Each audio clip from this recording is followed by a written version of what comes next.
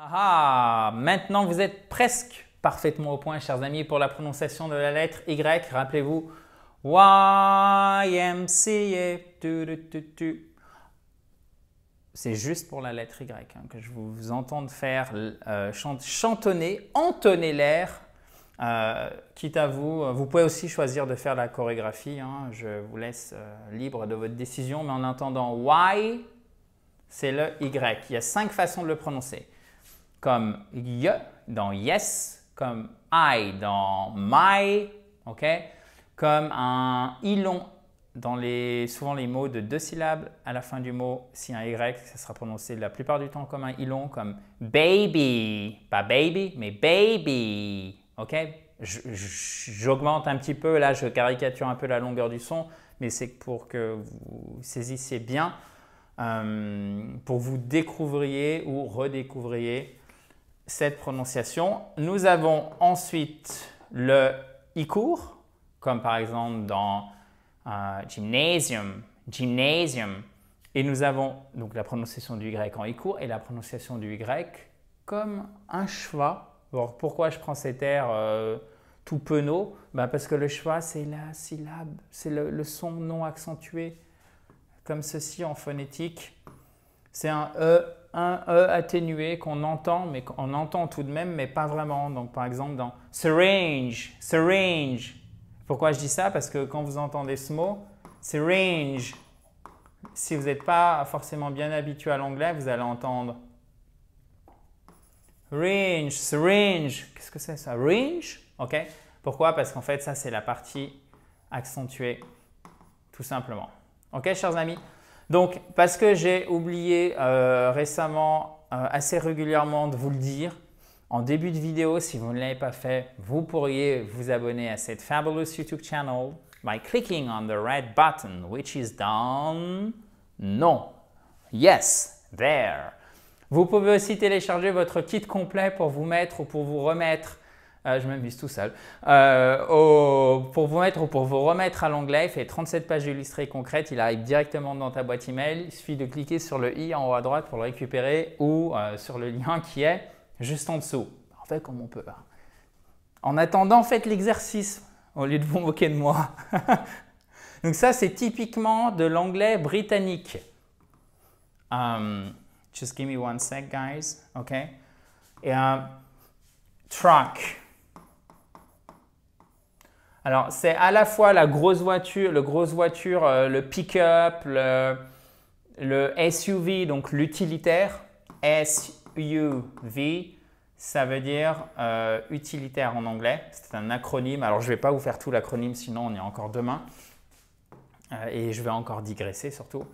Donc, simplement pour que vous ayez bien les, les deux, le truck et le lorry. Lorry, c'est un British English, mais du coup, je vous ai prononcé le Y. Lorry, lorry, lorry. OK Donc là, vous mettez un I long. Lorry, lorry. OK Alors, je vous avoue que j'ai vraiment pas l'habitude de le prononcer, ce que vous devez sans doute entendre. Moi, c'est plutôt truck. OK Par habitude. Ensuite, comment on prononce le Y ici? Déjà, la première partie du mot. New, new. Ce qu'il faut savoir, c'est qu'en American English, ça sera un OO et en British English, ça sera un U pour prononcer le E. New York, New York, New York, New York, New York, New York, York, York, York. OK? New York, lorry. Ensuite, nous avons comment on prononce l'année. Alors là, attention. Je vous le mets en phonétique ici. Et je vous le mets en phonétique américaine parce qu'il y a une petite euh, subtilité en plus en phonétique britannique. Mais je pense que ce n'est pas une bonne idée de vous la donner tout de suite. Puisque de toute façon, si vous le prononcez de cette façon au Royaume-Uni, vous ferez comprendre sans souci. Mais ce n'est pas un yeur, c'est surtout ce que je ne veux pas entendre. ok? Pour nous francophones, ce n'est pas yeur, c'est year year, year. Vous savez que le i se rapproche du e accent aigu. Alors, ce n'est pas vraiment un e accent aigu, attention, il est entre, euh, si vous voulez, vous avez votre I court, d'accord? Là, vous avez votre I à la française. Et là, vous avez votre E accent aigu à la française. Eh bien, il est entre les deux. Year, year. Et c'est un son court. Year, year, year. One year, two years, ok? Years, year. Ensuite, bon, facile, you. You've got it. Vous avez, vous avez compris. On pourrait même dire vous avez pigé, mais c'est un petit peu, un petit peu informel, donc vous avez compris. You've got it. You have got it. OK? C'est une forme contractée, bien évidemment. You've got it. Ensuite, est-ce que vous vous souvenez comment on prononce seringue? Yes, guys. You've got it.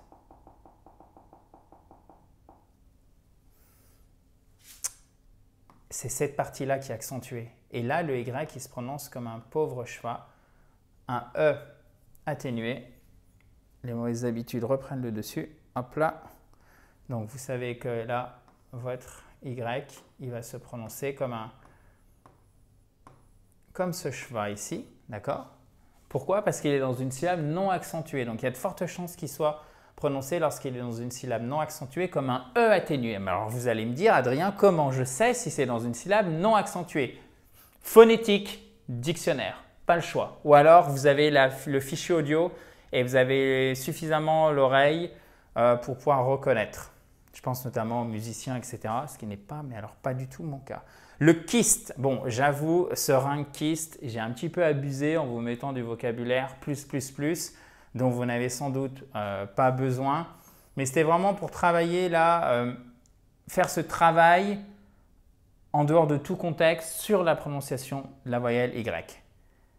Alors, ce n'est pas un, euh, kyste, ce pas un cyste, euh, c'est pas un, euh, c'est pas, pas un cyste, ça se dit cyste, cyste. OK? C'est un i court. Cyste, cyste. OK?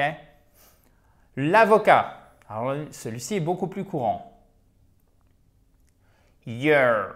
Et là, law. Vous laissez tomber la mâchoire. La mâchoire vous en tombe. Law. Law, lawyer, liar. The law, the law. OK? Lawyer. The law is tough. Tough, ça veut dire dur. Comme dans dur à cuire. OK? Tough. Lawyer, law, law, law, lawyer. Ensuite, Y, comme dans yes, comme dans you. Young, exactly. My. Parfait. Bon, ça, je passe parce que c'est bon. Ensuite, ah, très intéressant. Désolé, j'ai oublié l'espace ici. Baby.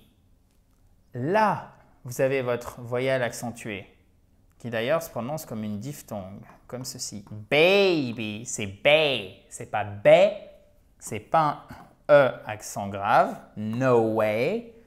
No way. Way. C'est la même diphtongue.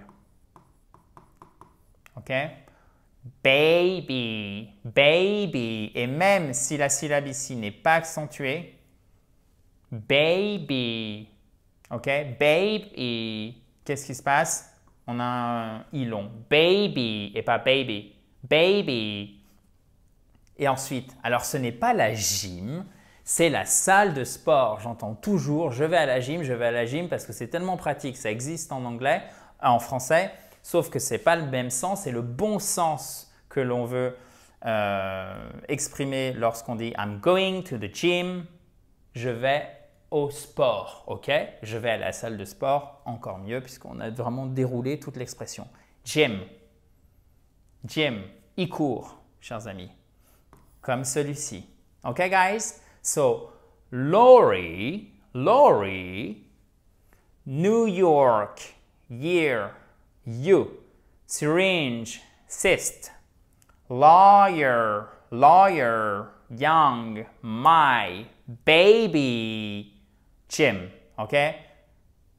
Jim, baby, my, young, lawyer, What do we have? We have a cyst. So I hope you don't have a cyst actually. Cyst. Syringe, syringe. You, year, New York, Laurie, Laurie. Ok, guys? C'est tout bon? Bon, si vous avez des commentaires, vous les mettez juste en dessous, bien évidemment. Je reviendrai vers vous avec plaisir. Et si vous ne l'avez pas fait, récupérez donc votre kit complet pour vous mettre ou pour vous remettre à l'anglais. Il suffit de cliquer sur le i en haut à droite ou sur le lien qui est juste en dessous. À demain, comme, notre, euh, comme à notre habitude, dans la joie et la bonne humeur. Bye bye guys. Have a nice day.